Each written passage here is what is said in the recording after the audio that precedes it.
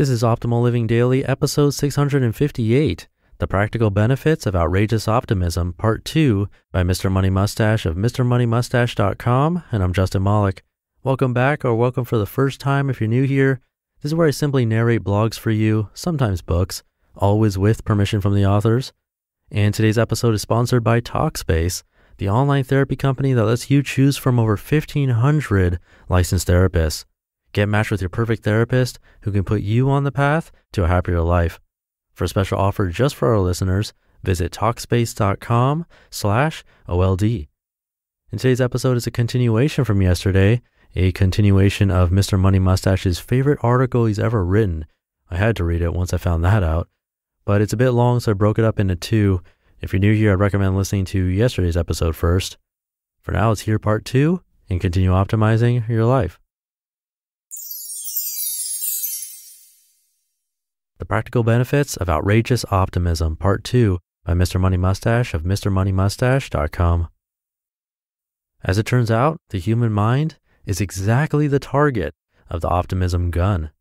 But does it really work? I found my own gun about 21 years ago, and I've certainly found it effective whenever I had the courage to apply it.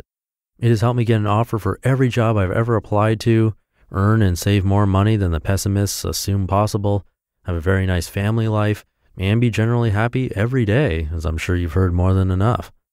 I also secretly use the OG Optimism Gun in this blog. In fact, I'm typing this article on the Bluetooth keyboard that was supplied with the device.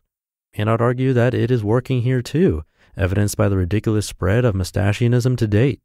Because which is more likely? A software engineer who didn't even take an English class in university just happens to be the most amazing writer in the world with the most useful financial ideas as well? Or that this blog just makes people feel good about their lives because it is much more optimistic than others writing on the topic, and this motivates them to try some new things. There are several psychological principles at work that make all this work on a practical level. Number one, humans are automatically drawn to leaders. Most people just want to hang back with the crowd and shy away from pressure of standing out. As soon as somebody stands on the box and picks up the conch, people start listening. If you dare to express optimism about anything, you're stepping onto a little soapbox and it gets attention. Number two, people want it to be true. If you become a small time leader and you deliver the good word, people will naturally want to keep listening because you help them feel good about things too. Soon your leadership position will start to grow a lot bigger. Number three, optimism tricks you into trying more things. If you believe success is almost guaranteed, you're going to try some pretty fun ventures. In reality, sure, you fail at some things, but what do they always tell us is the best teacher? That's right, it's failure. So you end up racking up much more hard earned experience and knowledge than the non optimist. Meanwhile, everyone else is still hesitating to try the first thing. Number four, you are forced not to focus on things you can't control. One of the most useful lessons of the seven habits of highly effective people is that you never worry about stuff you cannot control. You just work on the things you can. As an example, I never watch the political debates or follow the polls for an upcoming presidential election. That doesn't help me at all, and it doesn't help you either. Instead, I just read the descriptions of the policies each candidate plans to put into place, evaluate those against my best guess at their long term effects on the success of the world in general, not just based on my own situation, then send in my mail in ballot long before the election day. Then I can be optimistic because I've had my full say by voting and have hundreds of hours freed up to accomplish other things while the pessimists are still watching TV and worrying about the election. Number five, acknowledge and bow down to the placebo effect. When it comes to health and well being, the mind controls the body way more than rational people like to admit. This isn't just New Age medicine. The very thought of taking medicine that makes people better has a statistically significant effect on the outcome of medical tests. It is so real that scientists have to adjust for it by giving people fake pills, which make them better, in order to see if the real pills do even more than the fake ones. I enjoy hacking this fact to control my own health. I have a permanent belief that I'm unusually healthy and that this condition will persist forever. Even when I get sick, I look at it as a very temporary anomaly, always assuming I'll be back to full health by the next day. It usually proves to be true. Not only am I overdosing on the placebo effect, but these assumptions lead me to do the deliberate things one would do if one were preparing for a healthy 122 year lifespan as well. And on top of all this, the optimism is limiting the release of the human stress hormone cortisol, which tends to destroy health. The less you worry about health, the healthier you become. Number six, optimism is rare and deadly when combined with experience. If you're a smart guy or gal at your workplace, the other smart people are expecting you to be pessimistic just like them. You can sit at the lunch table discussing the chronic failures of management or the critically flawed design of the product you're all working on. But once you've proven your pessimism and realism chops are respected by the gang, then you gradually start playing some tricks.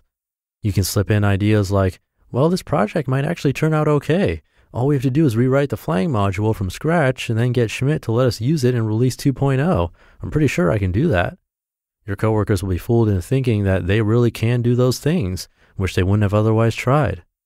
As noted in point number three, these things occasionally work. As you hone your skills at tricking people into succeeding, you find yourself increasingly being sought after for CEO positions. So there you have it, from the perspective of both the motivational speaker and the engineer. This stuff really works on other people and on ourselves, and it's the source of most of the luck we experience in our lifetimes.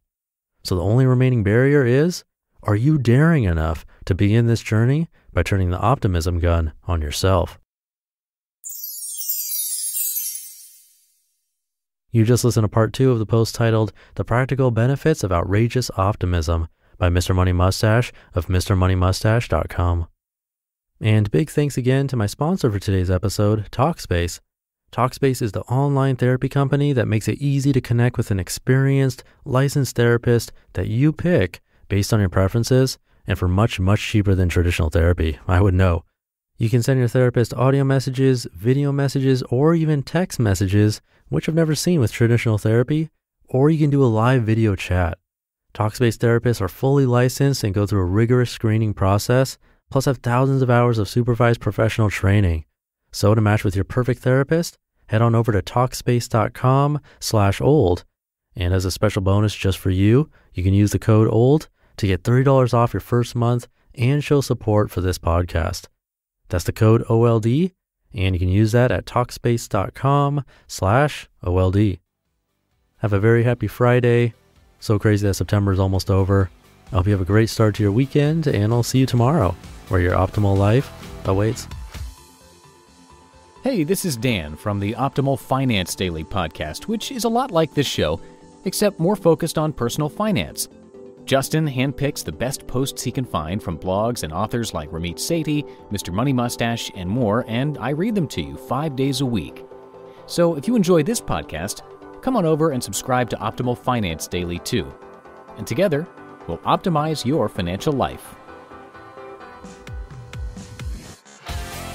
You've been listening to Optimal Living Daily. Be sure to hit the subscribe button to stay up to date on each new episode and head to oldpodcast.com. That's O L D podcast.com for a free gift as well as more actionable tips and resources to help you maximize your potential. Thanks for joining us, and remember, your optimal life awaits.